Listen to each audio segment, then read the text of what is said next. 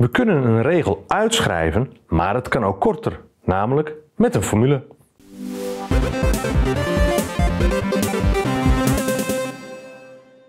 Ik ben aan het kijken voor een nieuwe vloer in de studio. Die vloer kost 7 euro per vierkante meter en er komt nog 20 euro bezorgkosten bij. De regel die ik bij deze situatie kan maken is dus het aantal vierkante meters keer 7 plus 20 is gelijk aan het bedrag. Dat vind ik nogal lang en ik zou het graag wat korter opschrijven. Als ik nou eens de getallen niet uitschrijf, maar gewoon de getallen opschrijf, dan wordt het al een stuk korter. En in plaats van de woorden keer, plus en gelijk aan, kan ik daar natuurlijk ook gewoon de tekens voor gebruiken. Op deze manier schrijf ik het al een stuk korter op. Deze manier van opschrijven noemen we een formule. Stel je voor, je hebt een bijbaantje. Kranten bezorgen. Je krijgt sowieso 8 euro. Maar je krijgt ook nog 7 cent voor iedere krant die je bezorgt. Laten we deze situatie gelijk in een formule zetten.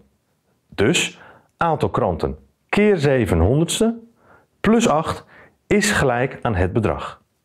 Met deze formule kun je snel uitrekenen hoeveel je verdient als je weet hoeveel kranten je bezorgt. En het maakt niet uit of je één krant of 100 kranten bezorgt, de formule werkt altijd.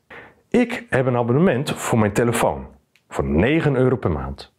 Maar als ik meer MB's gebruik dan ik in mijn abonnement krijg, moet ik bijbetalen, namelijk 15 cent per MB. We gaan weer een formule opstellen. Ik wil het bedrag berekenen aan de hand van het aantal extra MB's. Dus extra MB keer 1500ste plus 9 is bedrag. Met deze formule kan ik dus altijd berekenen hoeveel ik in een maand moet betalen. Het maakt niet uit of ik extra MB's gebruik of niet, het werkt altijd. Een formule maken is natuurlijk leuk.